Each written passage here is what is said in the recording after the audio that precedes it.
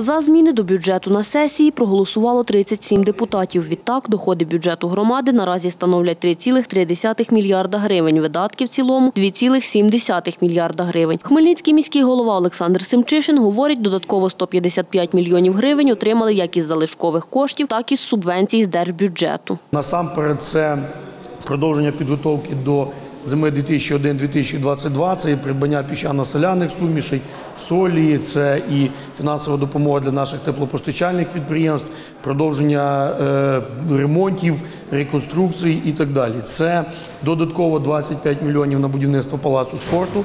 Це додаткові кошти для повного фінішу в серпні місяці по НВО номер 1 Додатково з бюджету громади візьмуть і 1 мільйон гривень на ремонт доріг, розповідає виконуючий обов'язки начальника управління комунальної інфраструктури міста Василь Кабальський. Ремонт асфальтобетонних асфальтних доріг в наших населених пунктах, які відійшли до Хмельницької міської громади. Це проведення поточного ремонту, ліквідація ямковості.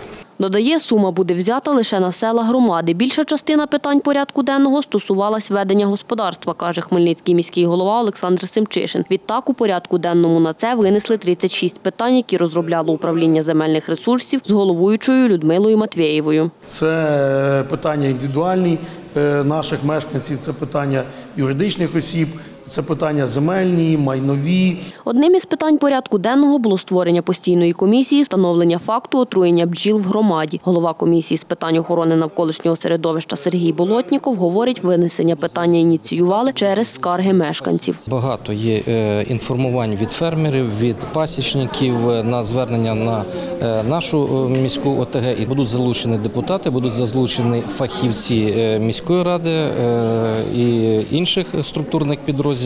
Будуть оперативно реагувати, коли будуть виявлені факти загибелі бджіл, будуть виїжджати, розслідувати і будемо реагувати вже згідно е, звернень по закону. За створення комісії проголосували одноголосно. Загалом народні обранці на сесії розглянули 122 питання порядку денного. Діана Колесник, Іван Мовчан. Новини на Суспільному. Хмельницький.